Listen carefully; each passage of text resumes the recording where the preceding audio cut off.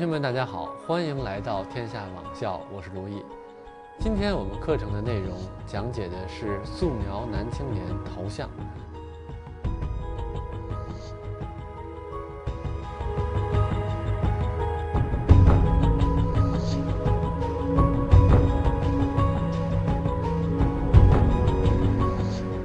五官的刻画，发型的表现。尤其是五官中的鼻子的表现，还有就是整个的这种衣服肩的厚度和体量等。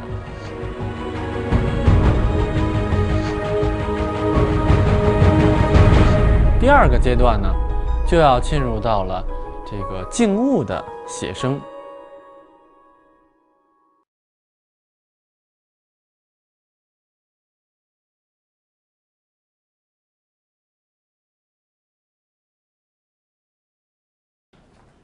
同学们，大家好，欢迎来到天下网校，我是卢毅。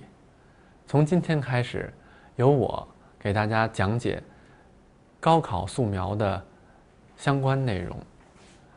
那么，首先呢，我做一下自我介绍。嗯，我毕业于中央美术学院，从零二年呢就开始从事美术的教学活动。嗯，近四年来吧，取得了一定的。教学成果，呃，近四年有二十九个人考入了中央美术学院的全国前三十名。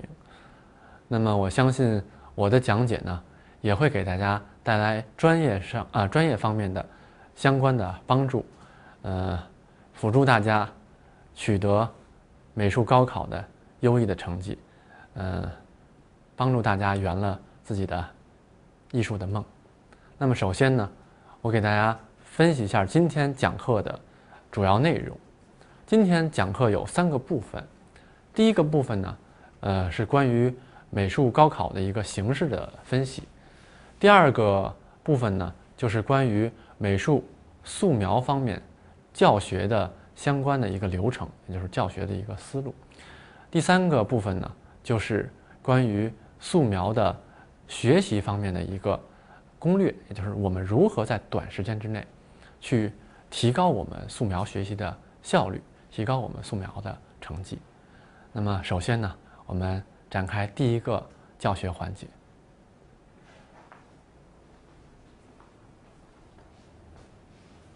好了，我们现在讲第一个内容，有关于素描高考的概述。我们大家都知道，学艺术呢是。需要这个有很长的一个过程。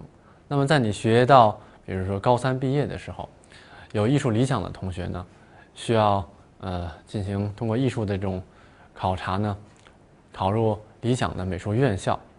那么，我们的考试形式呢，大家也可以看到我们这张图片。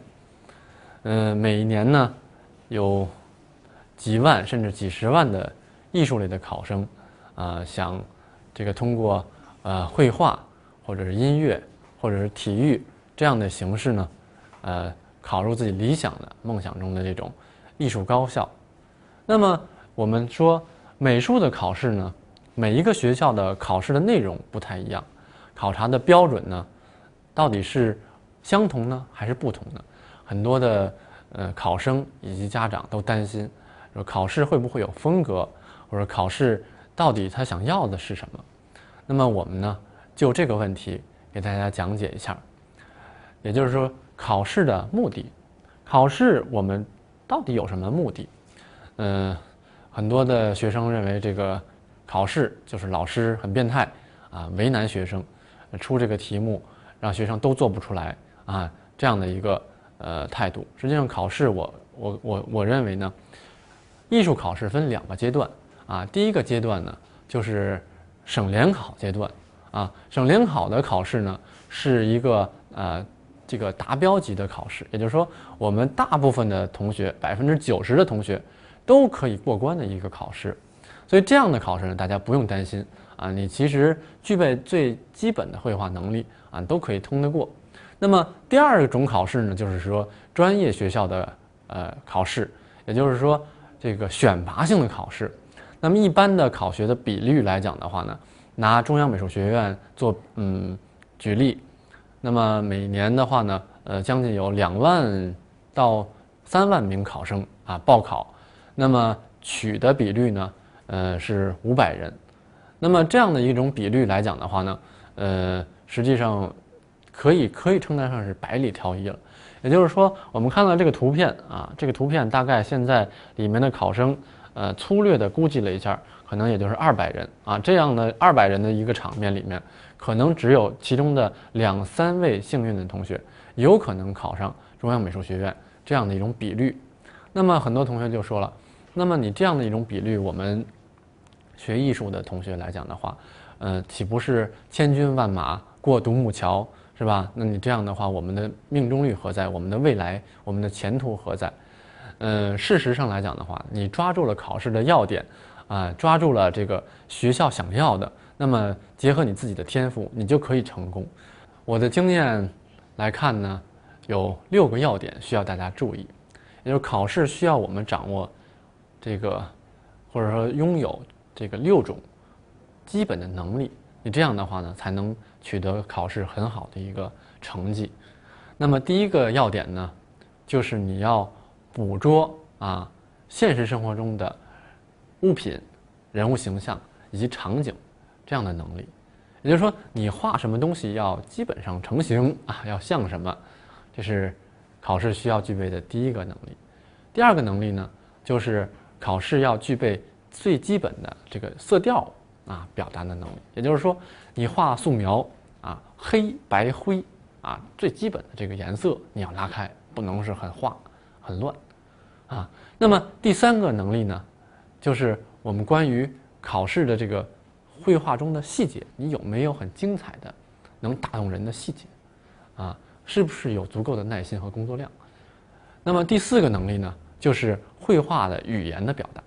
嗯，很多的同学担心说，我画画是不是风格啊不对？风格这个风格那个风格，实际上风格呢，实际上大多数是在于绘画语言的一种探讨，也就是说，我用什么材料啊，用什么笔呀，这样的一种探讨。啊，那么第五个内容呢，就是关于绘画的画面的整体的一种把握，就是你的画面有没有很好的整体感，啊，你是呃局部观察还是整体的比较，啊，色彩这个色调是不是局部的很琐碎的、很凌乱的，还是很整体的，啊，这个都是考试的一个目的目的啊，也就是说我要整体的去看效果好。那么最后呢，还要考察我们。对于形体啊，包括透视的一些规律的一种认知，也就是说，我们在比如说考头像默写啊，比如说或者静物默写的过程中，需要我们要了解到这个呃颜色的变化规律、光影的变化规律，以及造型的透视的变化规律啊，很多的包括骨骼肌肉解剖的规律啊，对于规律的了解啊和把握，这个呢。也是考察的一个目标。那么，综合这六个要点，如果你都具备的话呢，我相信你就是一个很具实力、很具能力的一个嗯很优秀的一个考生。嗯，好了，我们了解了这个考试的目的以后呢，我们同学肯定很关心这个评价啊，评价我们这个考试的这个呃优或者劣，评卷的这个标准是什么？那么包括考场。这个考完之后，老师的评卷过程是怎样的？那么我呢，也给大家带来了一幅图片，给大家这个展示了一下评卷的一个现场，啊，大家看一下，这是基本上给大家这个呃一个呃感性的一个认识啊，带大家走入了一个考场啊评卷的一个现场。那么你看到评卷呢？呃，一般来讲的话呢，老师是先分出啊，这个一一类、二类、三类啊，分出可能分出五类到六类，那么可能最高的一类呢，呃，有可能就是九十分以上，往后比如八十七十六十，每一类啊就是什么呀，一个档，把这个画面呢做最初的分类，这是评的第一第一遍啊，就是评价的第一遍，在之后呢，老师还会。在每一类里头有上下的这种调节，那么呃，这个由比如说评卷组组长啊，这阅卷组组长他还会在从低的这个类里面或者高的类里面去再进行一个判断和筛选啊，比如说有些特别低的评论特别低的这个呃类的这个有没有失误啊，是吧？比如高的有没有误判呢？那么我就可以把这个低的有的哎评卷失误的往上调，上面的往下调，这样的话呢，呃就评价第二遍。最后呢，第三遍呢，就按照每一个档，比如说我九十五分是一个档几张画，啊，九十分几张画，那么再选出这几张，最后这个进行一个登分啊，这就是评卷的一个最基本的过程。那么我们如何在这个考试的过程中啊，这个几千、几万张卷子里面脱颖而出啊？还有就是这些老师的到底是怎么评价的呢？实际上我这边有一些这个。评卷的一些要点啊，也希望大家能这个了解啊。评卷呢，我们说最基本的第一个要素就是你画面的一个构图啊，就是你画面，比如说嗯，画一个人啊，呃，头像，你可能这个呃头发没画下，或者说是这个呃呃直接就是说没有画到肩啊，卡着脖子画下去的这种呢，都肯定是不合格的啊。这是第一个构图的要素。那么第二个要素呢，就是色调，颜色的黑白灰。画面中你必须要有黑白和灰三个色阶啊，而且要有很整体的一个层次。如果你画面这个是什么呀？灰灰灰啊，那么你就呃肯定是不及格，肯定是不及格啊。